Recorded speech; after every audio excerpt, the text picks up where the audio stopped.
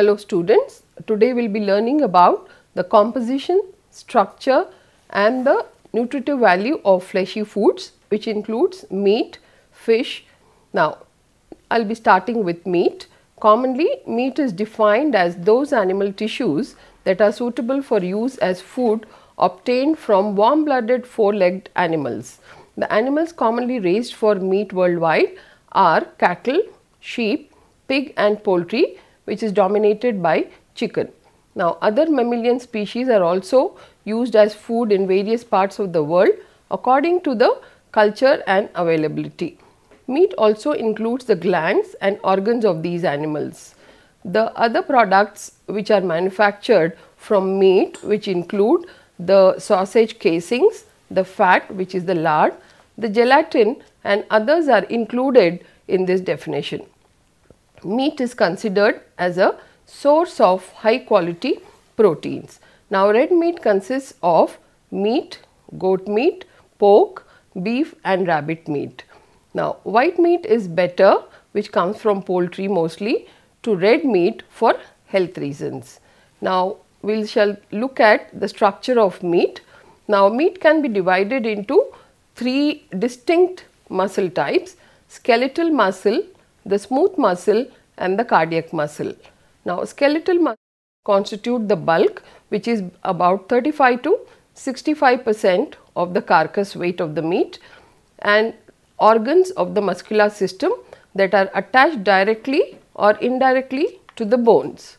Now, smooth muscle is the muscle that makes up the digestive tract and the heart is composed of the cardiac muscle. Now, we shall just look at the details of each muscle fiber. Now, uh, it is as I said the majority of the muscles are the skeletal muscles. So, these skeletal muscles are the most important of the three types and these muscles felicitate the movement or give support to the body. The smallest independent cellular unit of mature skeletal muscle are called as muscle fibers and skeletal muscles are a very complex contractile system made up of cylindrical multinucleated muscle fibers of varying lengths surrounded by a layer of connective tissue which is known as the endomysium. Now, bundles of these muscle fibers are enclosed in a sheath of connective tissue known as the perimysium while the entire muscle is surrounded by a denser connective tissue sheath which is called as the epimysium. Now, the structural complexity of meat can be organized as follows. First, the muscle which is made up of bundles of muscles and muscle fiber which is composed again of myofibril which is the minutest part of the muscles and also called as the myofilament. So, each muscle fiber contains hundreds of myofibrils. Meat in an animal's body is supported by bones and tendons which are held together by the fibrous connective tissue. Now, merged into a large mass, the tendon at the terminus of each muscle is anchored to the skeleton. Now, veins and arteries as well as larger nerves are inside the perimysium while the capillaries and the smaller nerves are in the endomysium.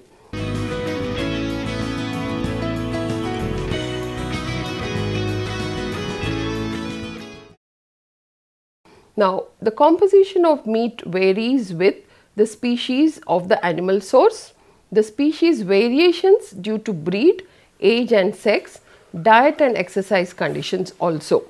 Now, it contains two types of proteins called as intercellular protoplasmic proteins. They are also known as contractile proteins and they form the majority of the proteins between 65 to 90 percent.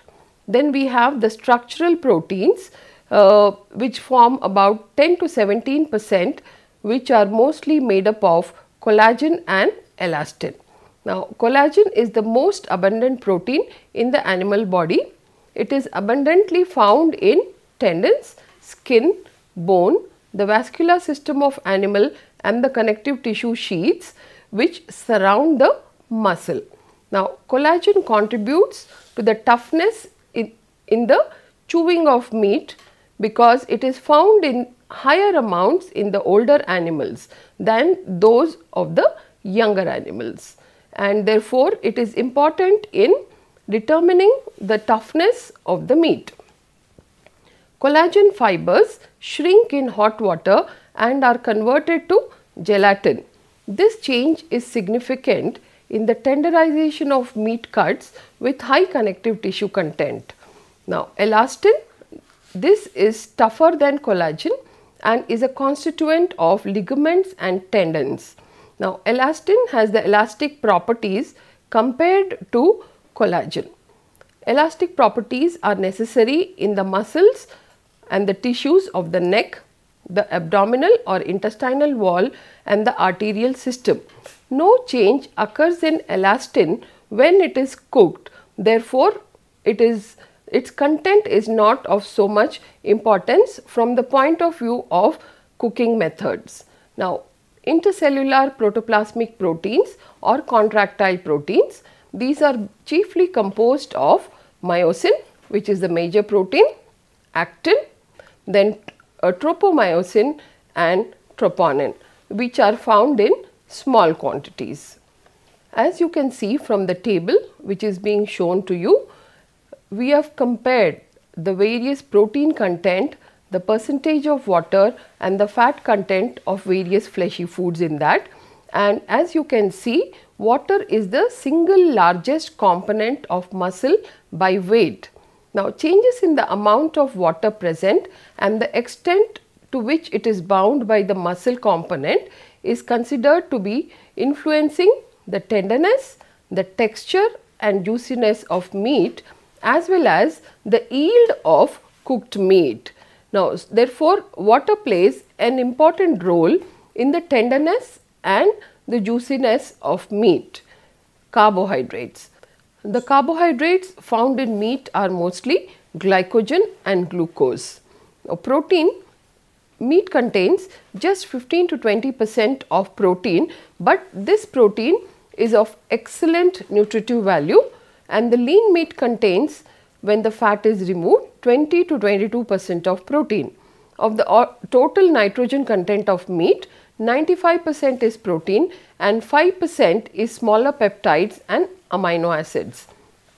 The amino acid makeup of meat protein is very good for the maintenance and growth of body tissues or human tissues.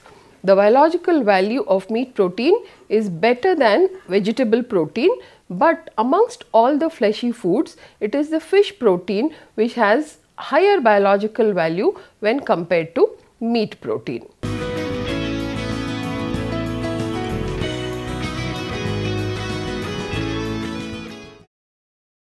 Now the fat. The fat content of meat varies as you can see from the table between 5 to 40 percent and the highest amount of fat as uh, you can see is from the pork. So, it has the fat content depends upon the breed of the animal and when the animal is well fed the way the fat gets deposited in the body varies. For example, when the animal is well fed fat deposits subcutaneously as a protective layer around the organs. Then it accumulates around and in between the muscle fibers. Finally, fat penetrates between the muscle fiber bundles and this is known as marbling. And marbling is highly desirable with some meat like beef because the amount of fat and consequently the water holding capacity of meat is greatly influenced by the amount of marbling which affects the juiciness of the beef. Meat fats are rich sources of saturated fatty acids and the cholesterol content of meat is very high which is about 75 milligrams per 100 grams. Now, lean meat is healthy as it has a higher proportion of unsaturated fatty acids. Minerals. The mineral elements occur either as separate ions or in a variety of compounds within the muscles. Now, few of the important minerals which are found in meat include calcium, magnesium which are the essential components of the uh, contraction and rela relaxation cycle. Iron is a part of the red pigment and so it influences the color. Zinc is found in one of the enzymes. Meat is a good source of iron and phosphorus. Meat also contains sodium and potassium. Liver is an excellent source of iron. Now coming to vitamins, uh, meat is an excellent source of some of the vitamins of the B complex and liver is one of the richest sources of vitamin B12, vitamin A and iron. Now enzymes, meat contains protein hydrolyzing enzymes which are called as cathepsins and these enzymes are responsible for hydrolyzing the protein when the meat is marinated and they break down the complex protein molecules therefore they help in the tenderization of meat. Now pigments the color of the meat is primarily due to myoglobin and hemoglobin. Meat cured with nitrates remains pink as nitric oxide myoglobin is a highly stable compound. Hemoglobin also contributes to the color of meat to some extent. Now flavor compounds. We all know we like meat because of the flavor it emanates when it is cooked and this makes meat very very desirable. So the flavor of the meat is a complex sensation. Much of it is due to water soluble substances such as inosinic acid, hypoxanthine which is derived from ATP, glycopeptides and amino acids such as glutamic acid meat with very little fat tastes insipid.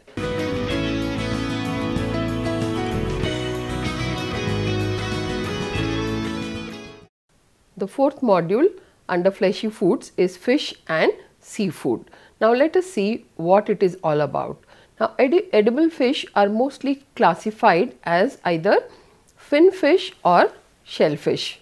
Now fish as you all know are aquatic vertebrates with fins for swimming and gills for breathing. Shellfish are aquatic invertebrates with shells or carapaces. Now, fish is classified basically on various categories. Now, it is depending on where they are found. For example, freshwater fish and marine fish or saltwater fish. Now, physical shape of the fish, is it round fish or it flat and the other one happens to be the round fish, one is the flat fish. Then depending upon the fat content or the flesh type, we have the white fish or the oily fish. Now let us see what freshwater fish we are talking about. Now the freshwater fish lives mostly in fresh water with a salinity of less than 0.5 percent and nearly 41 percent of the species of fish are found in fresh water. Now example salmon, tilapia and what we call carp. There are many others but I have just given the pictures of three. Now saltwater fish or marine fish spend their entire lives in oceanic water and example the white pomfret, the mackerel and surmai these are the three examples again I have given you. Now we have the second category of the major fish that is the shellfish. Now the shellfish can be classified as mollusk and crustaceans.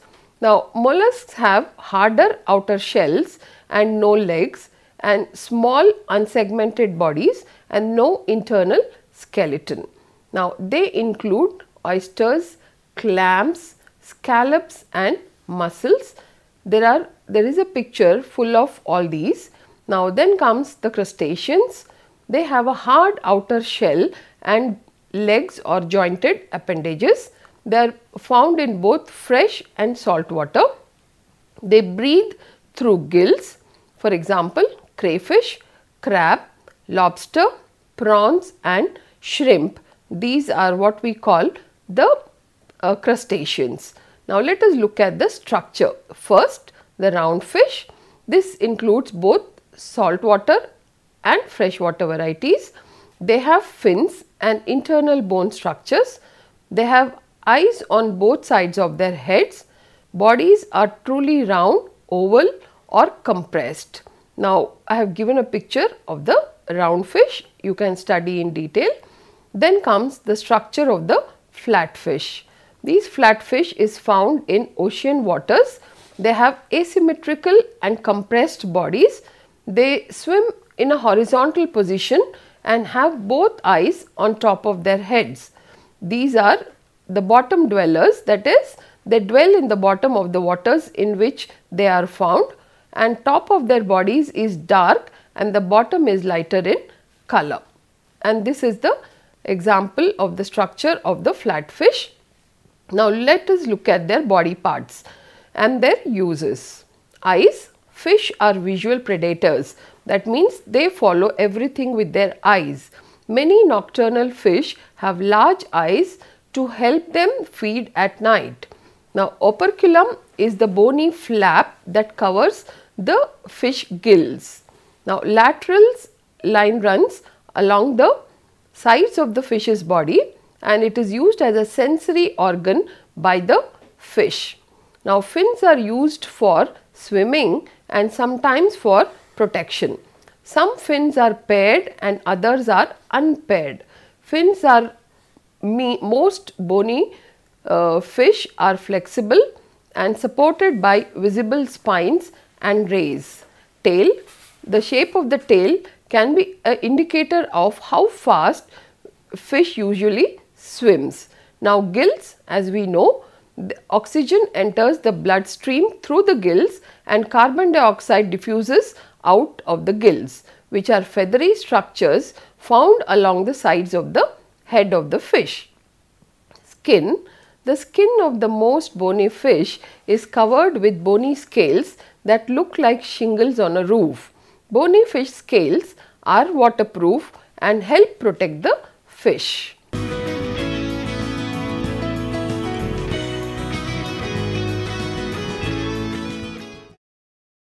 The composition and nutritional value of fish. Fish and seafood should form a major part of any healthy diet. It is an excellent source of protein and a vital source of essential fatty acids and contains a wide variety of vitamins and minerals. It is also low in calories which makes it perfect for any weight loss eating plan. Now commonly consumed fish are carp, rohu, surmai, murrel, mackerel, pomfret, salmon, tuna, prawns, sole, Bombay duck, etc. The composition of fish varies. Fish are not good source of energy because they are not good source of carbohydrates and fats. Now carbohydrates, the shellfish has less fat and more carbohydrates than fin fish. Like meat, fish contain some glycogen in muscle tissue. In the live fish, glycogen is the main source of stored energy and oysters are notable for their high content of glycogen. On an average, 2 to 3 percent of glycogen is found in the oysters. Now, white fish such as cod, haddock, plaice and sole contains about 100 calories for every 100 grams while oily fish such as herring, mackerel, salmon, sardines contain about 130 to 240 calories per 100 grams.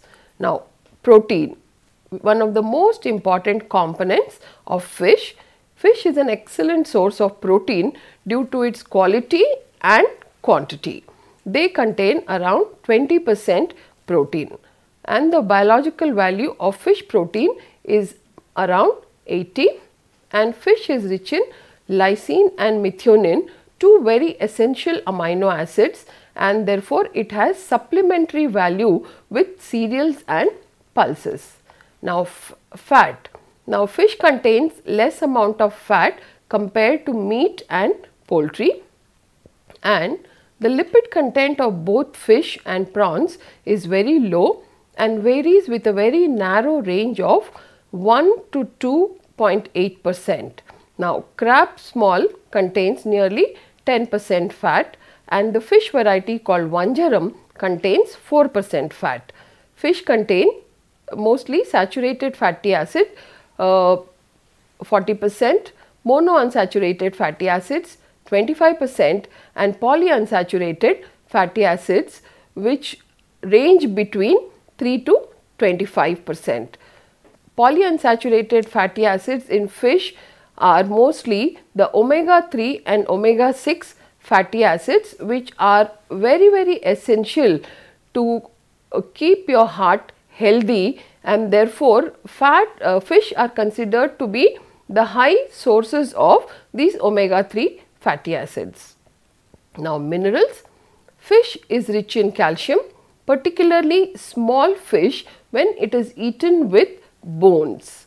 Now marine fish or ocean fish are good source of iodine which is essential for the body, selenium and also fluoride. Selenium is a powerful antioxidant. Now oysters are good sources of copper and iron. Small fishes are among the nature's richest sources of zinc and the bioavailability of iron and zinc is higher than the plant food. Coming to the vitamins, seafood contains significant amounts of vitamin B12 especially shellfish and fish liver oils are excellent source of fat soluble vitamins especially all the fat soluble vitamins and rohu contains vitamin C. Fish are good sources of niacin and also vitamin D. Seafoods contain significant amounts of vitamin B12 especially the shellfish. Now fish protein concentrate it is a new uh, product uh, which has been arrived at after a lot of research and it is the name given to the edible fish product which is suitable for human consumption which is prepared from fresh fish. The fish protein concentrate an essential uh, odorless powder is very high in protein that is it provides about 70 to 80 percent protein with good amount of lysine.